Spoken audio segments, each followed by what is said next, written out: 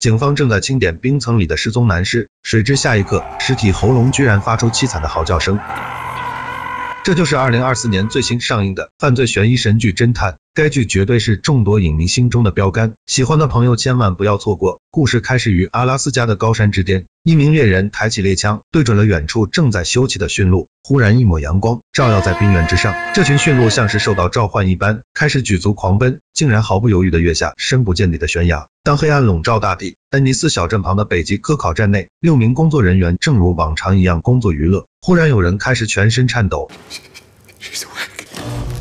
画面一转，来到三天后，一辆补给车驶进了科考站，司机大叔喊了半天没有得到回应，他只能亲自跑进去查看，谁知里面竟然空无一人，隐约间只有一道黑影掠过，餐桌上的食物没有收拾，电视机还在播放节目。司机大叔疑惑的四处搜索，直到他在桌子底下发现一截人类舌头。小镇警长丽兹很快赶到现场，二话不说，先是暴力关掉聒噪的电视机，随后才开始仔细打量四周的布置。失踪人员的手机全在这里，说明他们并不是外出执行任务了。根据食物的新鲜程度，丽兹断定这些人已经消失四十八小时以上了。他建议立刻派遣直升机对周边区域展开搜索。接下来就是那块诡异的断舌了，上面的划痕像是常年舔舐鱼线留下的，说明它的主人是当地的原住民。现有的线索存在许多相悖的地方，丽兹希望能有更多的发现。走进一间实验室时，意外看到白板上写着几个大字：“我们都得死。”这让看似简单的失踪案件再次蒙上神秘面纱。丽兹等人带着满腹狐疑回到警局，却不想办公室里有个人已经等候多时，对方的名字叫做伊万杰林。六年前接手过一个案子，一位原住民因为抗议当地矿产开采而惨遭杀害。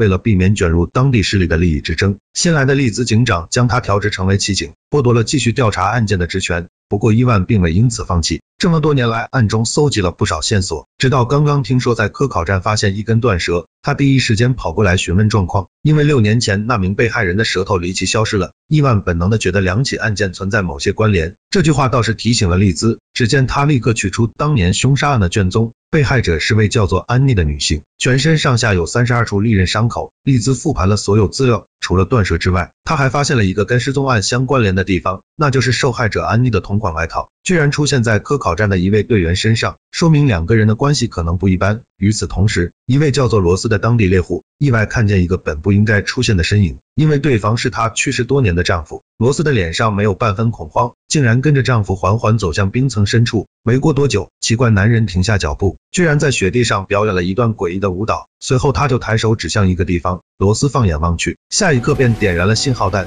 原来他找到了失踪的科考人员。利兹和伊万匆匆赶到现场，可看到眼前诡异的一幕，齐齐愣在了当场。坚硬的冰层上露出几张狰狞的脸庞，他们临死前像是经历了极为恐怖的事情，脸上的绝望和焦急被瞬间定格成冰雕。更加诡异的是，这些尸体全身上下未着寸缕，衣物被整齐的摆放在不远处。丽兹发现有个人的额头上印着诡异符号，正在诧异时，一旁的尸体忽然发出沙哑的嘶吼声。突如其来的一幕，连从警多年的丽兹都忍不住心中打鼓。于是立马找到学校里的地质学家，对方曾经跟科考站有过短暂合作，他想知道那些科考员到底在研究什么。地质学家其实了解的并不多，合作时只看到他们一直在挖掘冰层里的微生物，说是要探索地球的生命起源之谜。另外还有其他一些奇怪的课题，不过地质学家却被排斥在外，没能参与其中的研究。而骑警伊万将报案的猎户罗斯送回家时，得知是死去冤魂指引的尸体位置，他并没有表现出丝毫诧异，因为住在地球极端的原住民。经常能看到一些科学无法解释的现象，日积月累下来，他们早已见怪不怪。罗斯认为自己的丈夫之所以出现，不是想带自己离开，就是要透露某些信息。不过谈起冰尸额头上的诡异符号时，罗斯难得表现出了些许慎重。他说这是比冰层还古老的图腾印记。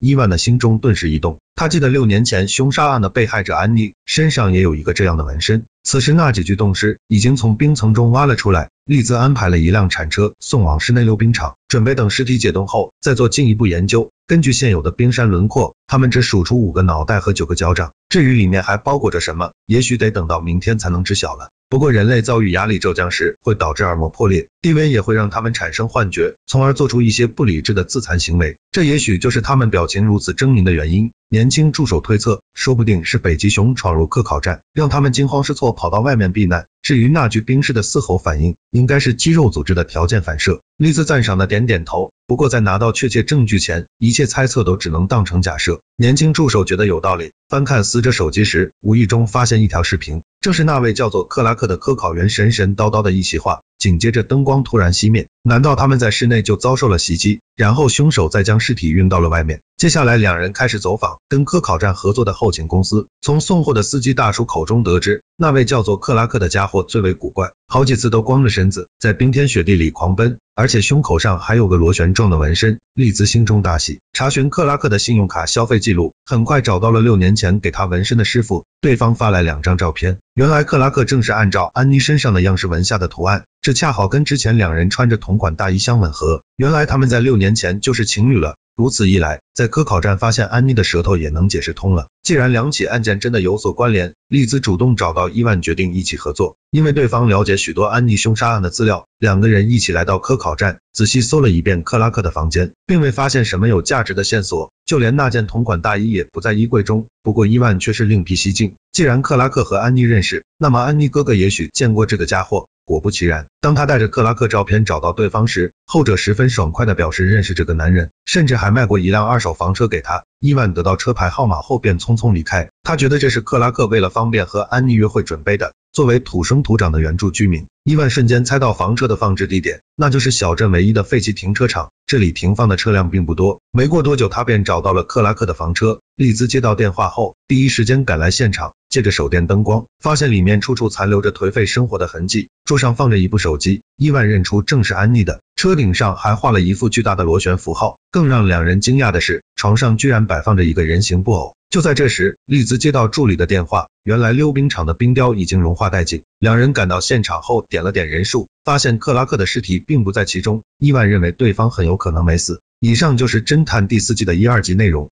这两集表述的内容不仅仅只是案件本身，其实还有丽兹和伊万两位主角的生活状态，以及以往的矛盾纠葛。侦探每一季都只讲述一个案子，如果仅靠破案根本支撑不起来。第一集的作用更多是对人物关系以及案情线索的铺垫，不但保留了前三季的悬疑推理风格，更是添加了不少超自然元素，让人有种观看极地恶灵加怪形的感觉。但是故事的叙事节奏和腔调依然是标准的侦探风格，看起来刺激的段落被集中在开头结尾。中间的内容看似缓慢且无用，但侦探系列的神来之笔恰恰隐藏在这些不经意的镜头里。如果你是犯罪悬疑剧的爱好者，阿奇强烈推荐去看看原片，因为所谓的神剧，它会吸引你一遍遍的重刷某些片段，直到在某个冬夜温暖的被窝里，发现永夜之地不为人知的惊悚真相，最后忍不住发出原来如此的感慨。而且它也不会像其他美剧那样留下大量悬念到下一季。当季故事当季了结，绝对不会拖泥带水。如果大家喜欢这部剧，阿奇会实时更新下去，结尾还会适当添加一些推理和见解。好了，今天就到这里吧，咱们下期再见。